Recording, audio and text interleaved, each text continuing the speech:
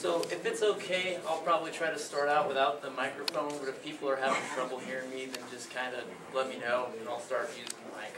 Um, so my name is Bryan Kluever. I came up from, or sorry, I came down from, came up from Hadley, Massachusetts, at the Region 5 uh, headquarters there. Fish and Wildlife Service is divided up in the regions, but we're here in the Northeast.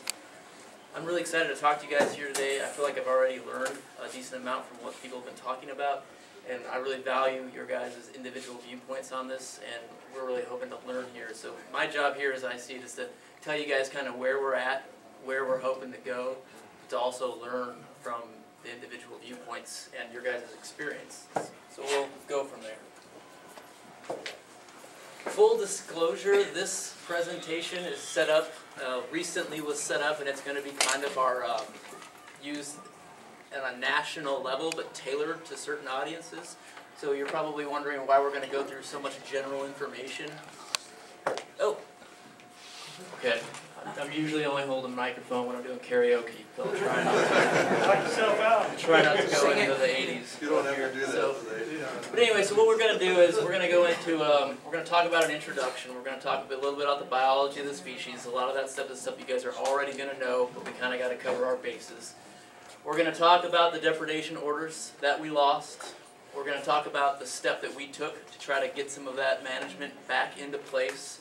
We're going to talk about where we're at with the free swimming fish and cormorant interaction issue and next steps. And then questions at the end, or if you have questions as we go along, that's, that's fine too.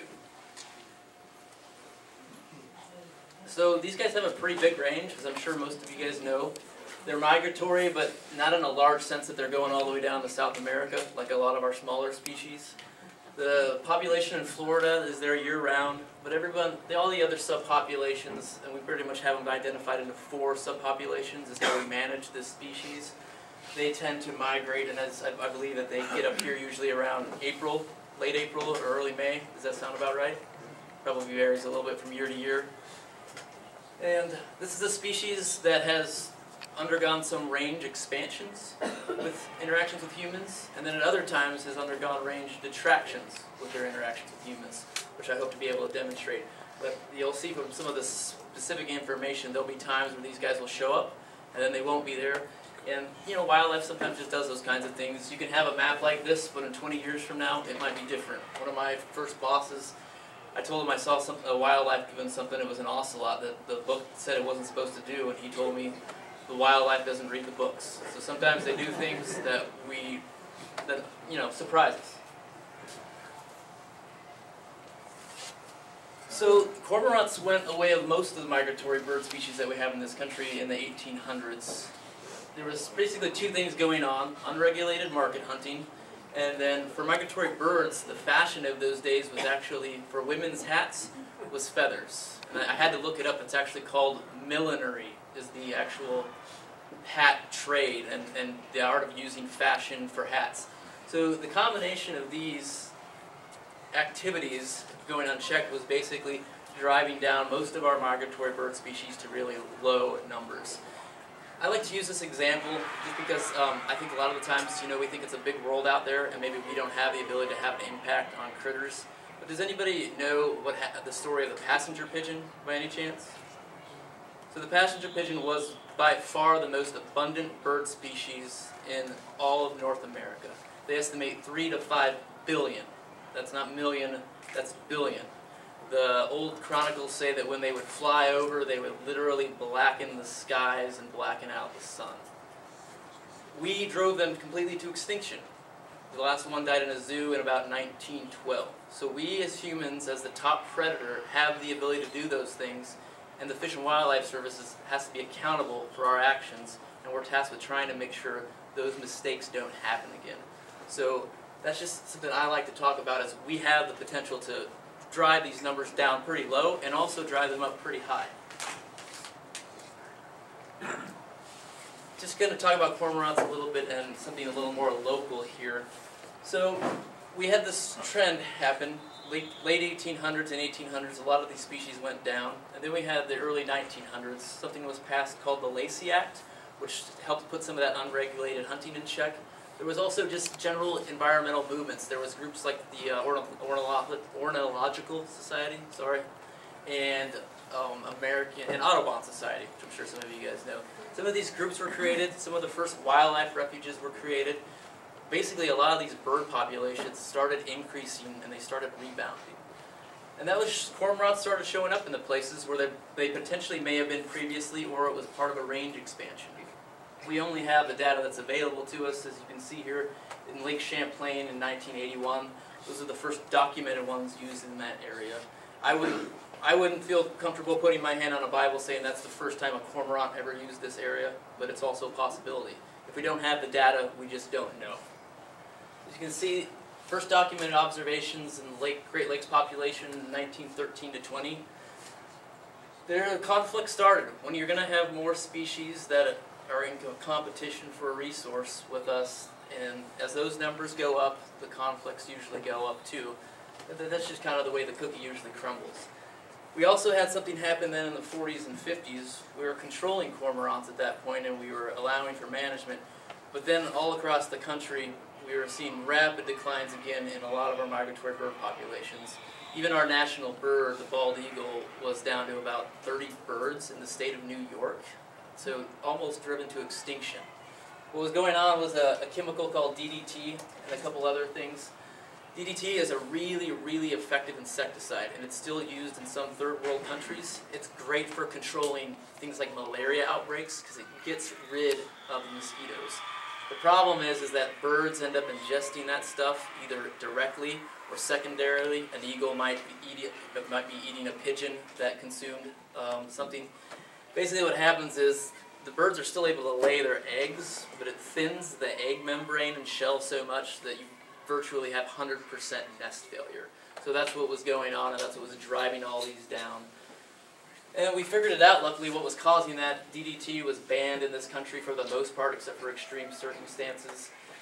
In the 1970s, you also had the double-crested cormorant family added to the Migratory Bird Treaty Act list, which is what I'm going to talk about in a little bit. You're going to see DCCO a lot in this presentation we there's seven species of cormorants, so we try to like save verbiage, and so we use that code. But if I say cormorants or DCCO or double crested, I'm, I'm, I'm talking about the, the, the critter you guys are having issues with up here. So why are migratory birds protected? Well, we the Migratory Bird Treaty Act was signed in 1918 by Woodrow Wilson. It was between Canada and the United States Great Britain signed on behalf of Canada, and basically it prohibits the taking of migratory birds. Take defined as pursue, hunt, shoot, wound, kill, trap, capture, or collect. It's also important though that this is with purposeful take only. If you are engaged in an otherwise lawful activity, such as cutting down a tree that you're permitted to do, and there happen to be migratory birds in that tree, that doesn't MBTA doesn't apply there.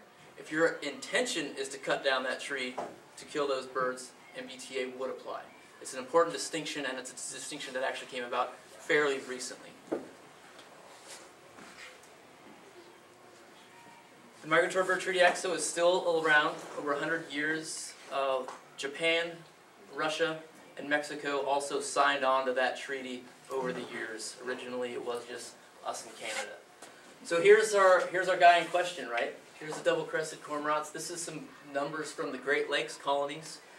So they had a pretty good nest abundance. We're basically saying that nest abundance, we think that's very reflective of how the overall population is doing.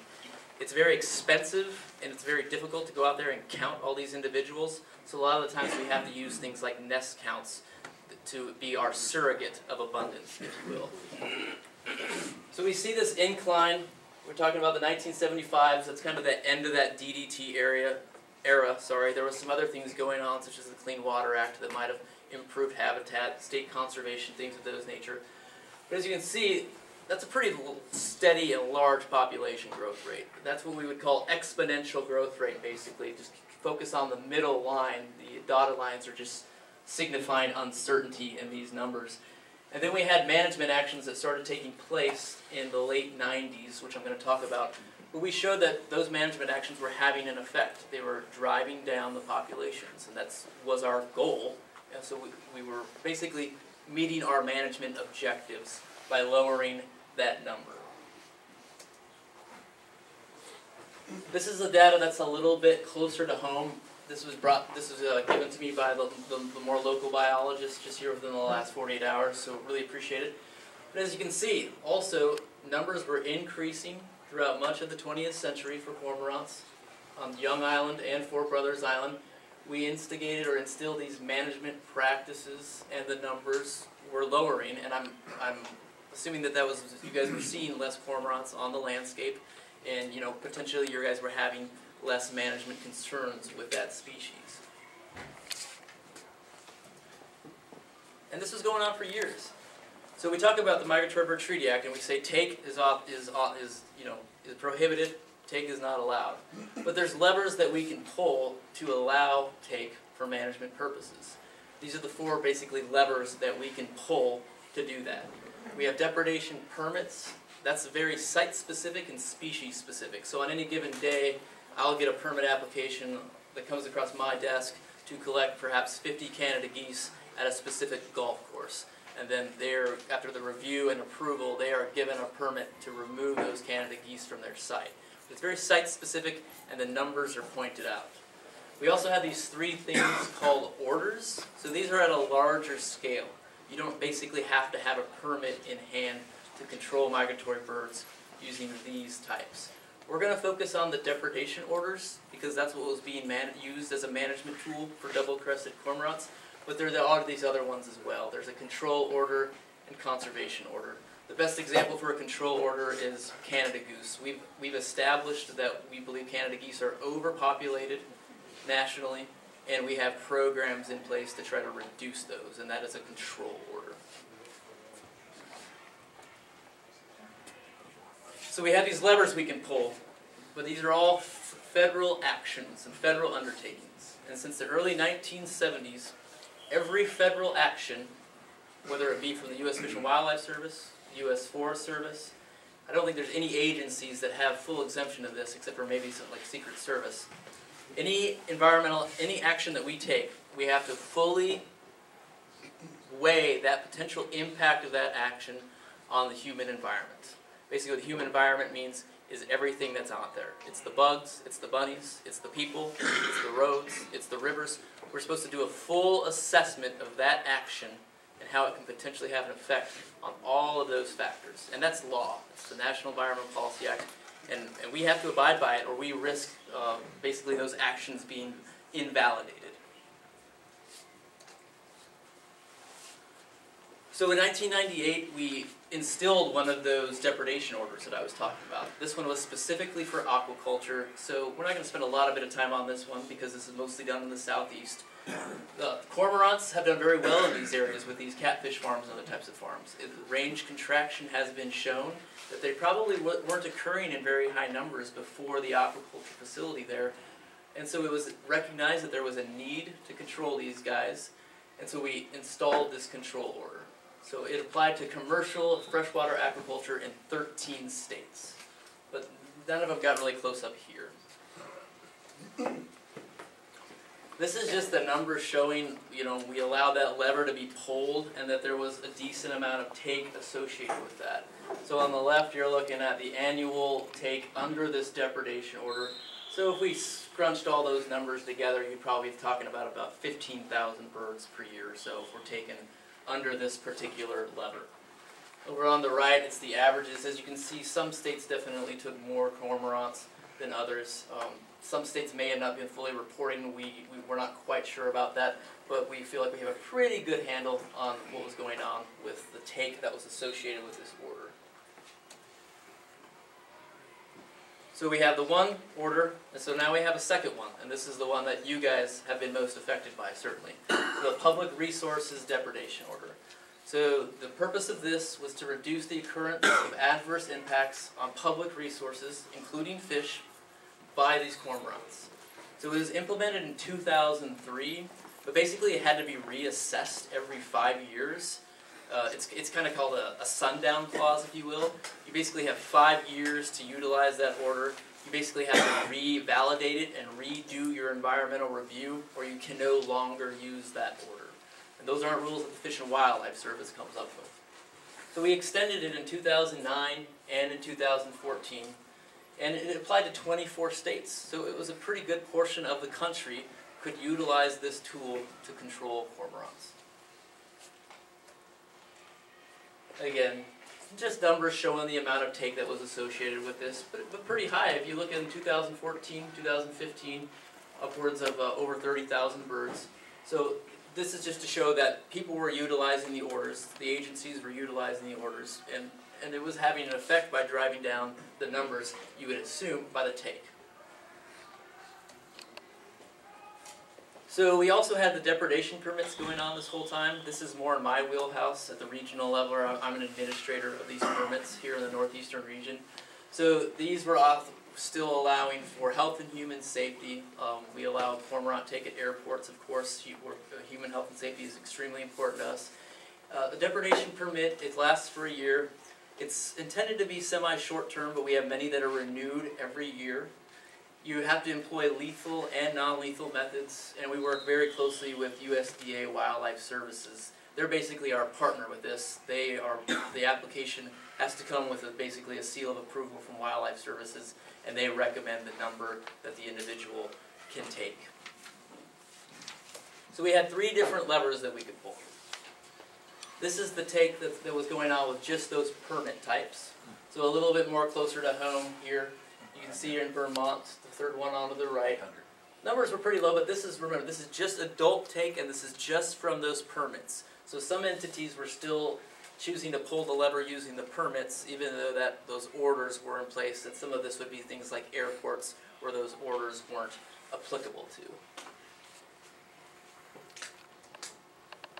This is bringing in a little bit, uh, getting at the numbers here locally, the Lake Champlain numbers a little more importantly. This isn't just Lake Champlain, but this is New York and Vermont. As you can see, this is the total amount that was taken using this tool, all the tools combined. You can see in New York, we were over 50,000 birds from 2004 to 2016.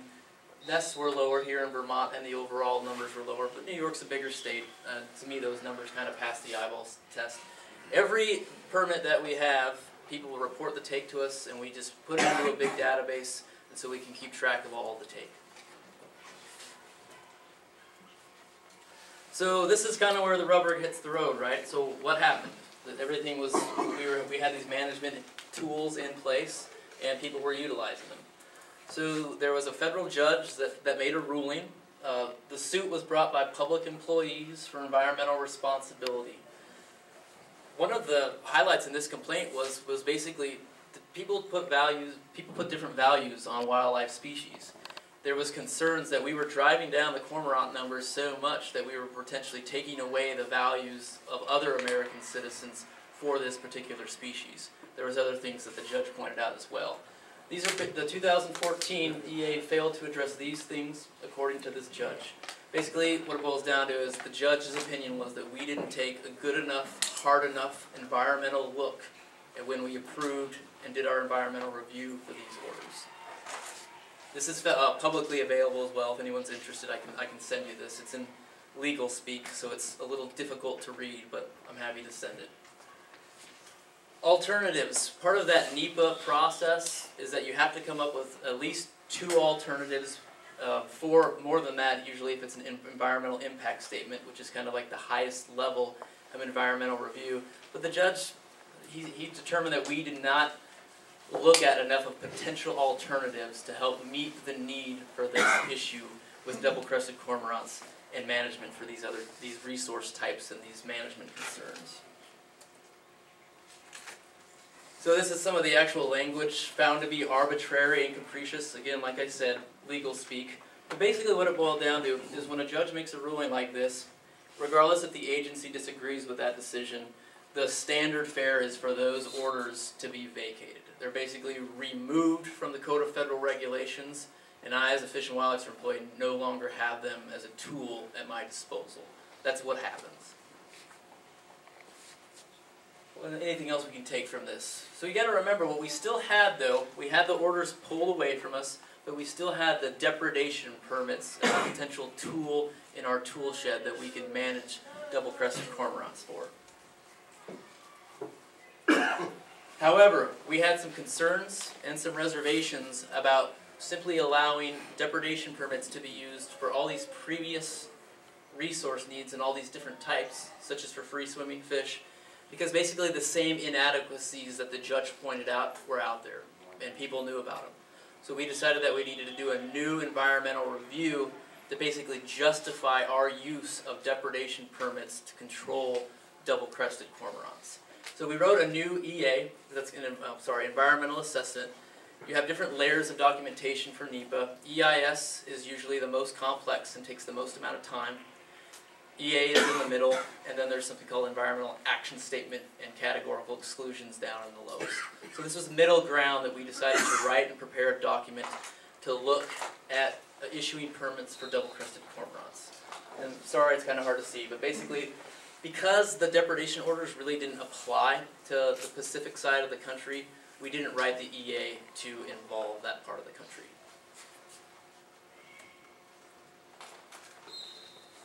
So we tried to address four different levels of scope in the EA. We did human health and safety, aquaculture, T&E species, and property damage. We picked those four types in the EA because we felt like we could clearly establish the need. We felt like the data was there to support those claims, and we figured with these four types, we wouldn't have to potentially write an EIS. When you have to go to an EIS level, if there is any potential unknown environmental consequences of your action or any negative. As soon as you make that determination, an EA is irrelevant and it gets bumped up into an EIS and you basically start the process over. The decision was made and it was certainly a difficult one and it was made uh, by, by a lot of individuals and a lot of thinking is that at the time when we were writing this EA, we could not include free swimming fish because the need was not clearly established and we could not check all those boxes in order to be able to get this EA pushed through to be able to allow for management for these different types of conflict. We'll talk about that more. So we've decided in the EA to basically manage the cormorants and talk about them in terms of different populations. And one of the things that you also need to do in NEPA is use the best available science at your disposal to make your determination. So that doesn't mean you need to go out and do a new study for every single thing out there and every stone that hasn't been unturned, but it means you have to use the best available science and the best available data. And if it's really lacking, then your, your EA might be in trouble, and you might have to go out and do some of those studies. So we crunched the numbers and we came up with population estimates for double-crested cormorants. I'm only going to focus on the upper left-hand side because this is what you guys would be interested in. But we estimated at the time of the EA, and this was signed in December of 2017. So even though this says 2017, it really came at the 11th hour of 2017. So this is all pretty recent stuff. But we believe there's between 252 and 268,000 double-crested cormorants that are utilizing the Atlantic flyway and are basically that Atlantic flyway population. All these dots, which I'm sure is really messy to look at, this is trying to show that we put a bunch of, uh, well we didn't, there was a study by universities that put a bunch of GPS transmitters on cormorants and it showed that they kind of adhere to these flyway populations, which basically means if you're born on the Atlantic coast and you're a cormorant, you're probably going to stay there. Same with the Great Lakes, same with the Pacific.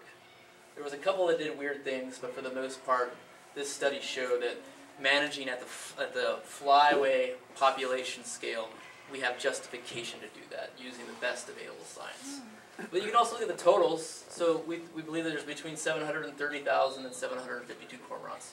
So that's a pretty decent population, I would argue. So we know how we think we know how many cormorants we are that are out there what, well, now what we needed to do is use science to determine how many we think that we can allow to be killed and still allow that population not to be driven to extinction or to a non-sustainable level. Because one of the primary missions of the Migratory Birds Division is that we need to manage at sustainable levels. That doesn't mean we want every population of migratory birds to be as high as it can be, and that's not what we do under normal circumstances because we have those levers that we can pull. So basically we, we went out there and we collected all the best information that we can and we came up with some numbers that say we can take these many cormorants on a yearly basis and still have our bases covered and help meet the conflict, but then also help sustain that population. So that's the biological. An environmental assessment has to have alternatives. It has to have action, it has to have alternative actions that can meet your need, or basically you're not doing NEPA. So we had our biological number, but then we also had our number that was based on all of the historical take from all the depredation, the depredation orders and the permits. So we had two alternatives to choose from is the way we devised the EA. We can take the maximum number of birds using the population model, or we can take a lesser number based on the previous need. And we basically decided to take that lower level. That was what was considered our preferred alternative. So that means we're allowing less take now than we potentially biologically could. The silver lining on that, if you will, and it specifically states this in the EA, that we can review this information and now we have additional take that is basically available that we can potentially use for other conflicts such as free swimming fish, cormorants. So we have those numbers basically hopefully to be able to use in the future.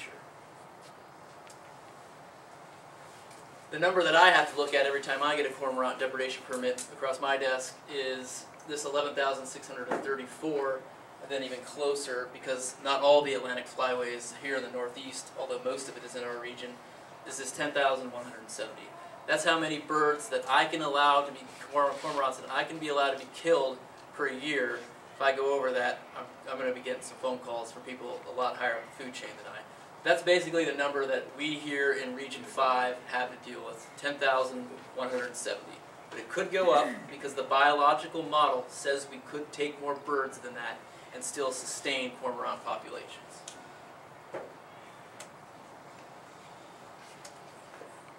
That's annually. Yes, annually. Yeah. Apologize if I didn't state okay. that. So now we're getting into you know what you guys are obviously most passionate about, and rightfully so, is this cormorant fish interactions, and we're terming free swimming fish interactions, right? Because we're allowing take it aquacultures; those are fish, but basically the decision was made free swimming versus aquaculture and hatcheries. If there's if there's trout and there's salmon, they're actually in a concrete hatchery, we would consider that to be in that aquaculture category, and we would currently be allowing permits for that take if cormorants are going in there. And this is where we're at basically. We know there's there's been good work that's been done here locally in the Champlain, and there's been a lot of good work that's been done on the Great Lakes. The issue with fish, bird, uh, uh, fish and fish-eating bird studies, just like any wildlife study, is that they're usually done at very small scales because they're very expensive to do. Um, it's amazing how much you wouldn't think wildlife studies can, but you go out there and you throw collars on critters and some other stuff, and before you know it, you're, you're in the six figures. It's it's it's it's um, you know everything costs money. So the problem with local studies is that they can show really good information, um, a potential pitfall of them is because something is going on at this scale doesn't mean it's going on at a larger scale. And if we potentially extrapolate too far and just utilize a few small studies, we potentially run uh, opening ourselves up to future risk, uh, such as things as lawsuits. So we're trying to be very careful and methodical, which we know unfortunately has consequences, as we compile all this information that the states have and these other resources and entities so we can look at this information regarding cormorants and free swimming fish and see what the data is telling us out there and see if there's knowledge gaps. But basically what it boils down to is, is down here in red. We've determined that we need to collect, review, synthesize, and we need to get at what is going on with cormorants and the free swimming fish.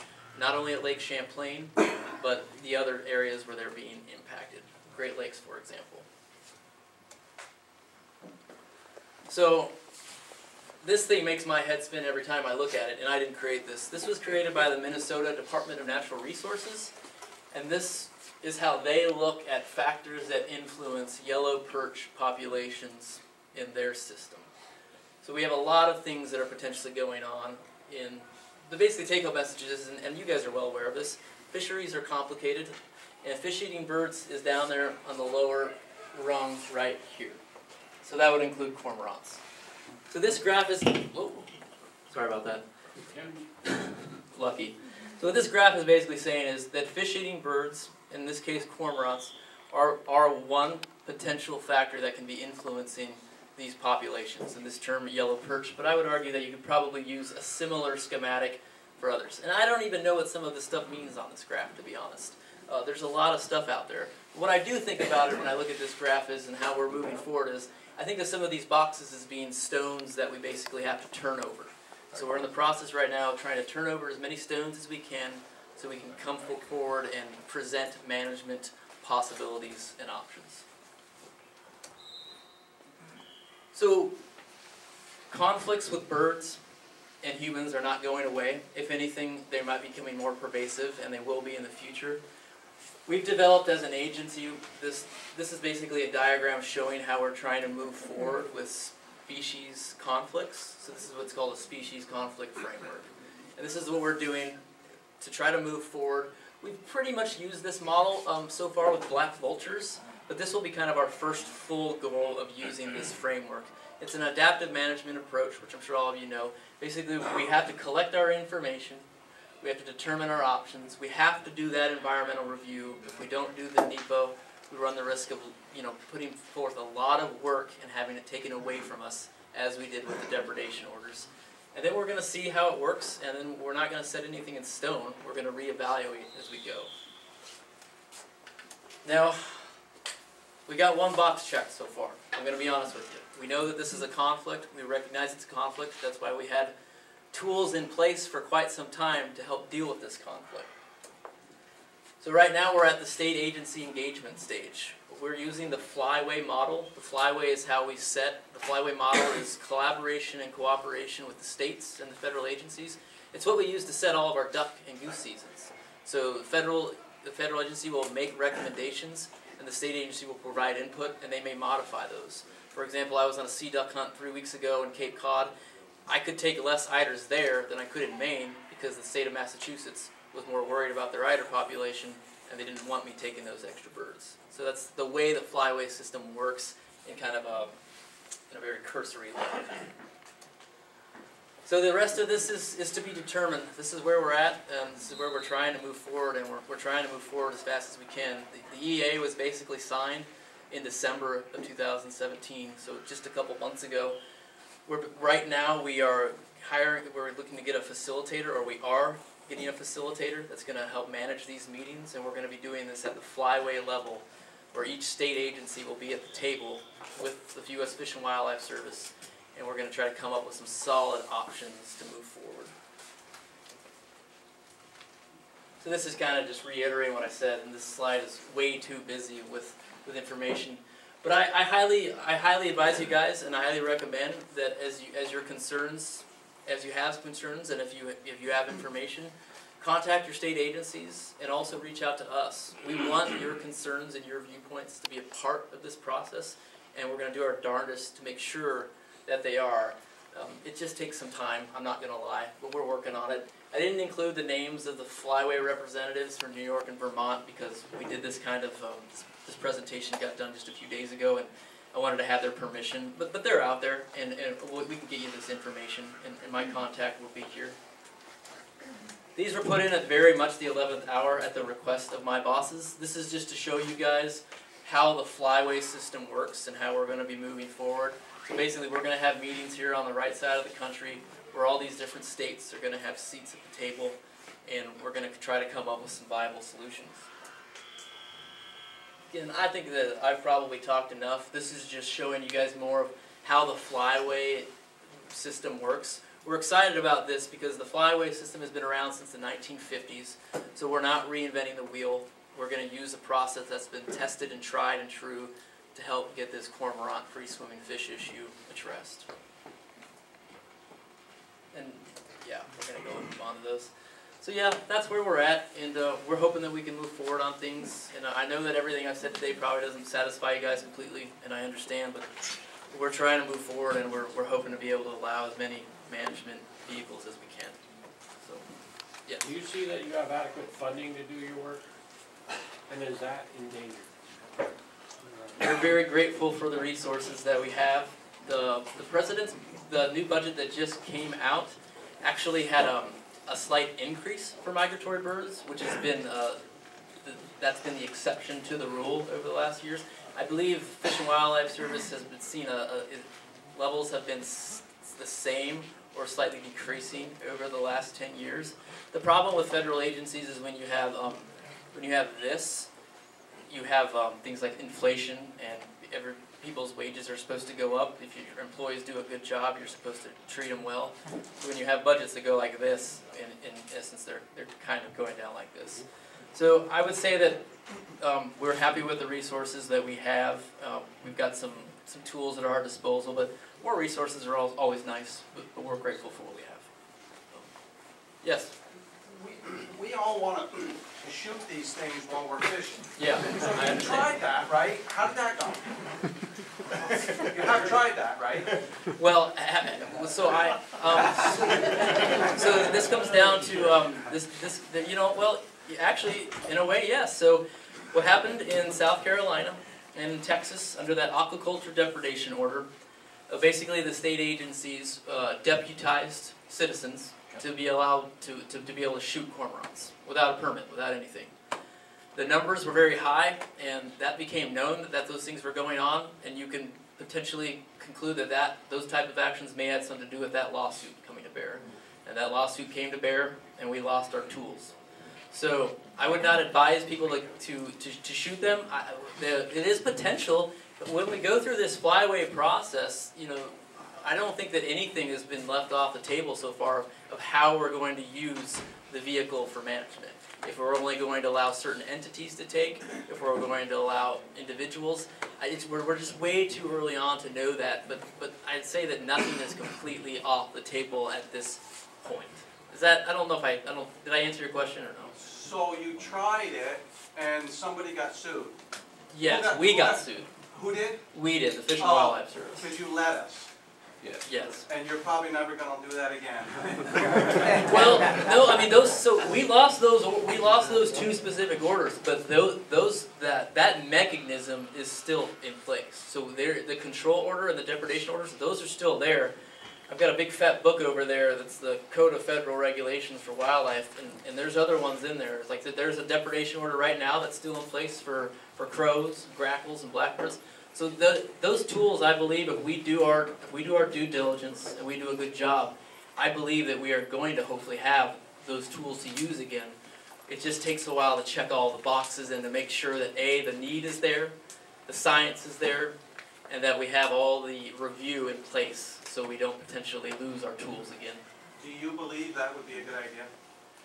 I I believe that wildlife management is a very difficult thing. We have a lot of people that have different values on wildlife. There are individuals in this room that I'm sure want every cormorant out there to be gone from the world, and there are other people that are probably in Burlington that want every cormorant to be here and probably double the population. So it's a very difficult thing. I believe that when we have conflicts, we need to come up with solutions to help individuals like yourselves um, to be able to have make a li- to, to have a livelihood and to be able to live your lives with wildlife. So I'm a fan of all those tools. I'm a fan of being able to pull those levers. Yes. Thank you. Yes. I will say it does bother me that you don't have funding enough to do some of these research, like take some of these cormorants and see what they're eating at certain times of the year to get a study. And, uh, that would be nice if you had the money.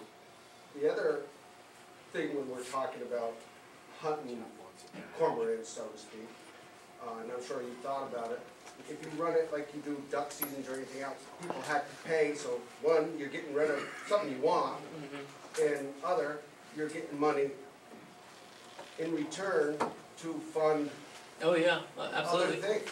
You know, like, let's say, okay, we get rid of half the cormorants to whatever we can, and you make a few hundred thousand, a million dollars, and you put it towards these wildlife services where the people who don't want them to go, Yeah. kind of get it in the middle like you do with Yeah. game hunting. Abso- Absolutely. You know, I think We're- that, yeah. We're actually paying to make more wildlife areas yeah. for other things, makes other people feel good that you're not just out there Absolutely. killing something to get rid of it. Yeah, and, and like I said, our migratory bird division, our, our, our goal is not to have every population of migratory bird to be at, at their peak. It's all Yeah. about sustainable and, you know, and, and sometimes at that halfway mark is the best. That's when the population what- populations now go is, and you know you're working slow because you have to, there's a lot of channels, there's a lot of other stuff.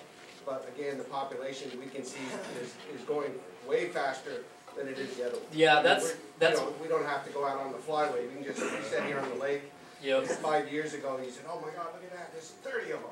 Now you go out and there's three thousand of them Yep. flying over you in Yeah. big, huge blocks. hmm that's definitely a concern, and, and we showed, oh, and we showed, right, that the, we showed that that it was a very effective management tool to, that we brought to bear, and so it's, it, it's logical that if you take that away, you're going to have population increase. So what we need to do at this stage is we need to make sure that that data is being incorporated into this new decision and this new review. And that's one of the things we'll make sure we do is that every piece of information out is out there about the current population. We'll make sure that that's included. The states do a great job. New York and Vermont, they, they do a great job, and we are very we, we rely heavily on the expertise and the tools that the states bring to bear. And that's why I'm excited about using the flyway structure for this. I think it's a great model of how the states and the feds work together. So, yes. What's the uh, limitations on uh, cormorant populations? Is it, is it uh, breeding habitat or is it uh, available forage? With these guys, I would say that um, there's a big debate, you know, overall in general about top-down versus bottom-up population control and regulation from everything to wolves to guppies. I would say with these guys, once they reach the, especially once they reach the adult status, other than humans, I don't think they have too many predators. So I think with these guys, they're probably more, in the absence of heavy predation, I would say that their population is more controlled by bottom factors than top. But usually it's a mixed bag. That's the tough thing, right? What do you consider a bottom factor? Oh, the food source. I'm sorry. Yeah. hmm It's actually it- it's been going on for 30 years. You'll get you, you still get biologists in a room and they argue about um, what's controlling a population. And usually it's like almost anything. It's it's usually a bit, a bit of both. So it's not, you know, the availability of an island to build their nests or something Nest, like that? yeah, habitat and nesting substrate could, I think certainly plays a factor as well, you're right. I mean, the, the habitat is important. If they don't have anywhere to nest, there could be all the fish in the world, you're right, but it's not gonna matter. So you're right, the nesting habitat is a, is an extremely important thing. And we know that these guys can go into an area and we, and we know there can be degradation of those sites, and you guys are more familiar with that than me. And, um, and that's one of the tools that we're allowing currently, because, because the free swimming fish issue we feel is so complex, we just felt like we, we had to take it at its own separate entity, basically. Yes. Do you have an idea what their natural lifespan is if left alone? Yeah, the, that information is definitely out there, and I and I and I read some of that a couple weeks ago. But but these guys are on a longer lived bird. I believe these guys can can be upwards of 15 years old. Um, I, I have to I have to take a look at that. But um, so yeah, once they reach that adult reproductive age, they can they can be pumping out chicks for quite some time. Um, So if, if free, oh, That's if, okay. if free swimming fish aren't, aren't really on the table, um, how about the loss of our native species that have been pretty much decimated by the overabundance of cormorants? mm, I mean, you know, Four Brothers and uh, used to be a bird sanctuary, and now there's no birds left on the sanctuary Mhm. except for cormorants and some gulls. yeah, So, I mean, it's not just, you know, the, the effects of free swimming fish, but, I mean, they're having major effects on our native bird populations. Yeah, so I've actually got a, a permit application uh, on my desk when I get back. That that's a that's an application to allow for for protection of some of those avian species, and so we are allowing for that. We have that priority scheme, so I basically have those that number that I have to stay under, or I'm in, in deep doo doo. Um, that's human health and safety and private property, and the TNE is the, is the third species. And I'm pretty confident that we're going to be able to give out the, the authorizations we want for that, and then so, so yeah, we are allowing for that currently. The issue also though, where it becomes more complicated, right, is because what if we have some fish species that are threatened and endangered? That's why we gotta get, that's why we gotta get our, our boots moving and we gotta get this problem solved, because the fisheries complex, it's not just for the popular sports fish, you could also have potential impacts on these less abundant fish species. So yeah, I agree, we need to do work on that. So some of the some of the islands and places where, uh, it's personally owned, not state or federal, do they ask for the permit from you? Like if I owned an island and it was covered with cormorants, would I submit a permit to your department? Yes, absolutely. Yep, Okay, you can so- submit that, you can submit that, uh, you can submit that and you work with wildlife services, you provide your justification and with cormorants, we are, we are taking a pretty hard look at those applications. We wanna see the justification, we wanna see the pictures of the trees and the areas destroyed. You know, because we know that there's people out there watching, you know, we, there was a big lawsuit. So that is absolutely a possibility and I've, and I, we do have permits out there right now that are authorizing that very thing. Yes? Couple questions. So the Atlantic Flyway, there's a potential, if I understood your data, quarter of a million cormorants coming on Lake Champlain, right? I don't, I, I wouldn't say that that is, that is the population estimate for the, the entire flyway, so I wouldn't say they're all, those, all those birds would be Okay, coming and then I want- here, but. Uh, The program, one of the programs that I know about is the spraying of the oils to prevent the, the eggs from hatching. Mhm. Can you talk about that? And also, what about the, uh, the, the total numbers of cormorants, even with, even if the egg uh, prevention, uh, program had worked, you're still gonna not cut down on the total numbers of cormorants returning every year. Yeah, exactly. So there, yeah, there, there's definitely been different things that have been tried with cormorant management. One of the earlier things that was being done was just going out and, and destroying the nests. Mm-hmm. Basically, just, you know, however you seem fit, if you're gonna, you know, if you're just gonna step on them and then dispose of them, there was a lot of that done. But yeah, so that's not a good tool, right? Because these guys can go out there and provide their resources and they can just put down another nest. So that's why we started doing the egg addling and the oiling, so you're basically tricking the birds they still think that they're taking care of a, a, a, ha- a nest that's going to hatch, but it's not. That's why that's why that's a good tool because we're basically tricking the cormorants. But I agree that is helping with reproduction, but that's not going to drive down population levels quickly. And so yeah, uh, bringing lots of tools to bear and, and adult take. If you really want to bring down a population, it should be a combination of addressing reproduction and then also adult take. So does that, the oil, does that fall into depri- de- deprivation category that you're talking about? It does, it does. So the way that the Migratory Treaty Act is, is written is that an, an egg and a feather even has the same protection as a, a live bird. That's, that's how it was done. But you can get a depredation permit that allows for killing of birds and also nest destruction. You can get that all under a depredation permit. Just currently can't get it for free swimming fish until we can address the issue better. Yes? I have a couple questions. First, um, do you know, I saw that New York had about seven thousand permits, uh, issued for cormorants, and Vermont had two thousand. But as you know, Champlain is, uh, shared by New York and Vermont. Do you know how many permits from New York are going to Champlain, um, just to give us a better number? I don't have those. I don't have those numbers unfortunately offhand. But if you want to take down my email address and you want to send me that question, I, I can go into the database and see if I can ferret out that information. I'm sorry, I don't have that.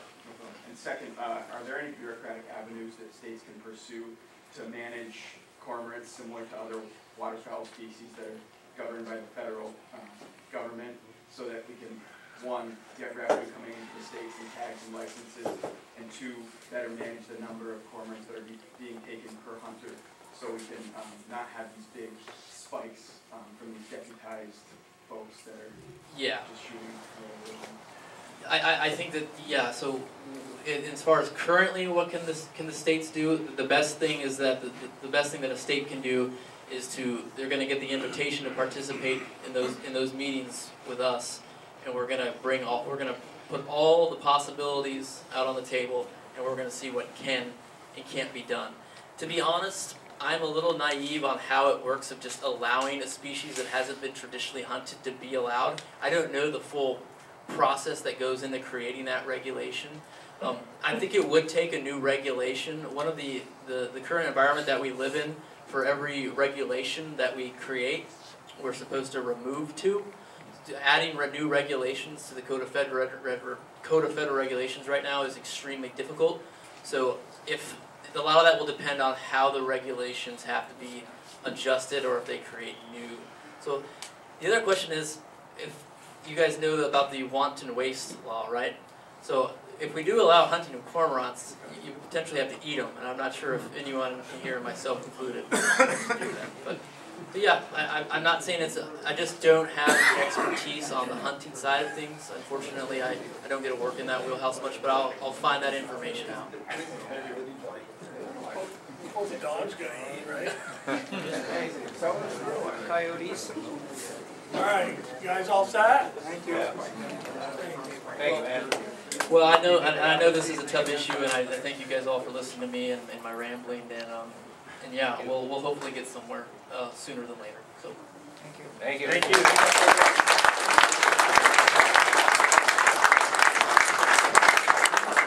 All right, thank you, Bryan. We're gonna take a break so everybody can get up, stretch their legs, go pee, do whatever you gotta do. And then we're gonna come back and listen to Brad, and then we're gonna have the raffle.